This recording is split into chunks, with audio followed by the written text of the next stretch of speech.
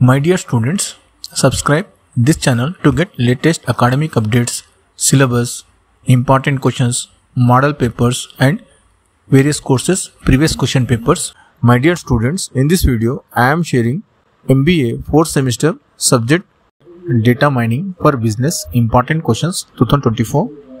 On screen you can see unit wise short and long questions one by one. For other subject latest important questions. Links are available in description. Check out once. I think it will be useful to you for your preparation. Students i am spending my time and doing hard work for your success but i am not getting enough views. So support this channel financially. Scan this qr code and pay your desired amount. Thank you